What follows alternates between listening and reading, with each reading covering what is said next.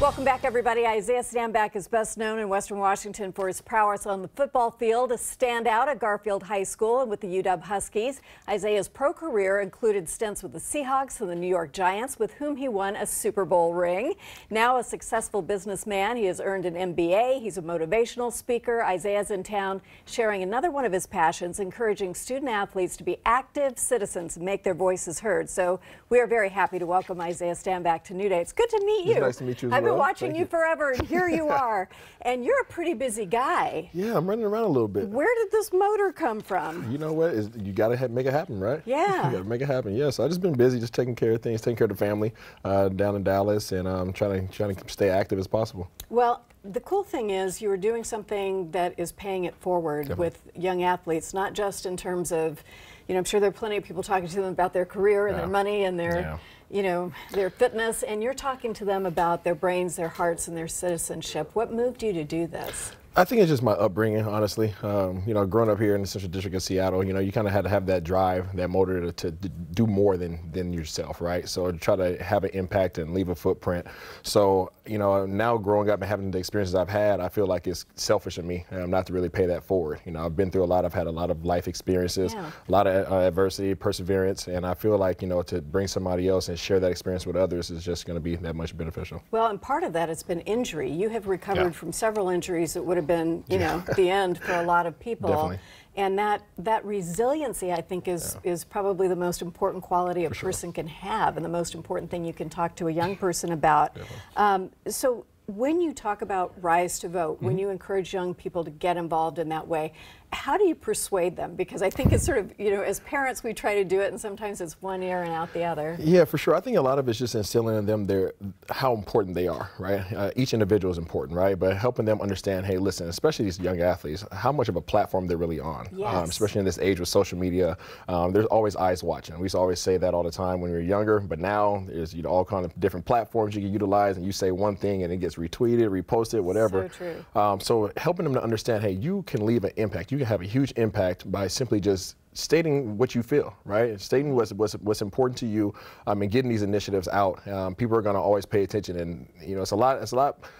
It's important to be able to share that versus just trying to try to contain that in and feel like you're not worth, right? There's been sort of this this backlash that athletes get sometime that they should just shut up and dribble kind of thing, which uh, it seems crazy to me, but I know it's out there and people say it.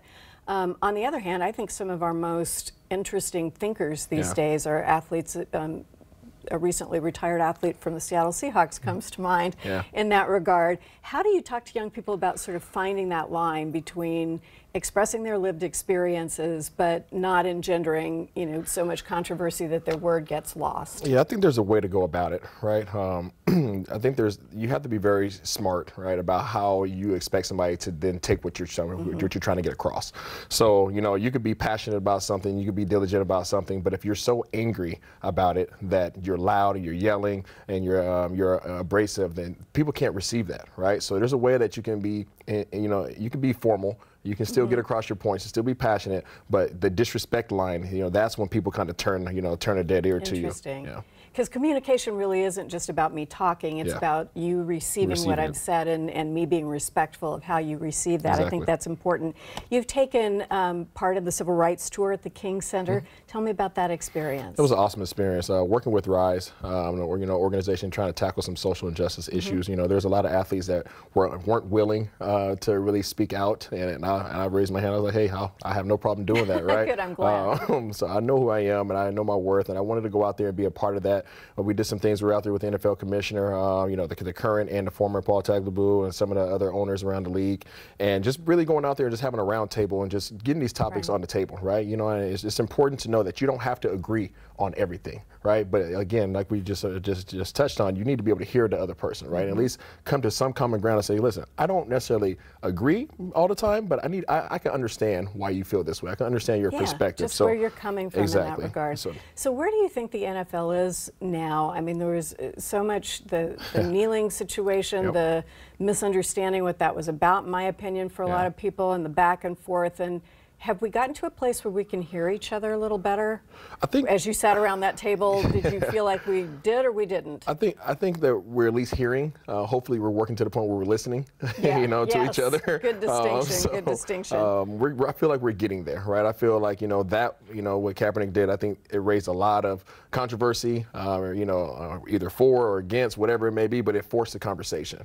And ultimately, whenever you're passionate about something, whenever you're trying to bring some attention to to something, you need to have that. I feel like you, there's always going to be some form of controversy, Right. right? So I think it's important um, that that that that topic was was was approached because now we're talking. Right now, we're having to listen, uh, and regardless if you agree or not, you know, there's some kind of compromise that has to happen, and again, again, that conversation just moves it forward.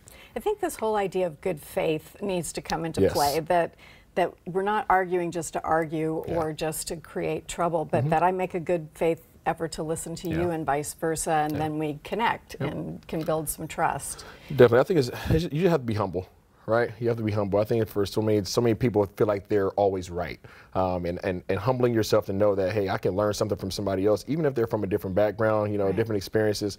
That alone is going to allow for us to have progress, right? So, you know, if you feel like you're entitled, if you feel like you're always in the in the right, then there's not going to be any progress, right? But if you're willing to say, hey, listen. At least I'll listen to what somebody else has to say and see and try to see their perspective. Then we can start making some strides It forward. won't kill me to- Exactly. to, hear the words. Exactly. More than likely. So let's talk about voting because I, I do, I, there was some statistics out just lately about most of the voters being over 50 or over 55. And I Yeah. thought, you know, which I am, but I don't want to be in charge of what happens to all the young people. I want to be aware of what's important sure. to them and listen to them. But mostly I want them to vote and be, you know, influential in the process. So when you're talking to, to Mm-hmm. youngsters, what do you tell them about that? I tell them that you know that the decisions that are being made are things that are going to directly affect us, right, and our families For that are going forward for decades. Exactly. This isn't something that hey, you know, it gets voted on and it doesn't really bother me right now, and then I could deal with it later, or the next person I could vote on them.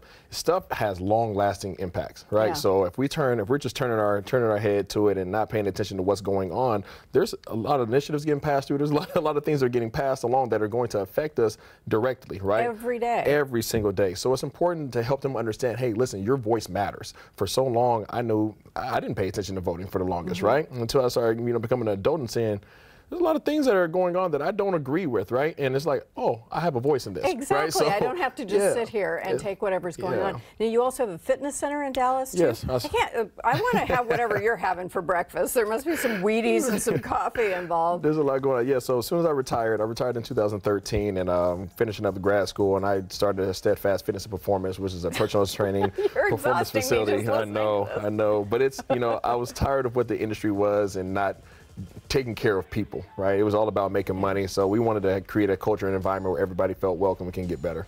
That sounds great. You're a good person, Isaiah Thank Stanback. you. It's Thank great you. to meet It's you. nice meeting you as well. Thank you so much. If you are a student athlete you know would like more information about Rise to Vote, please visit New Day's homepage. We'll have all the good stuff for you there.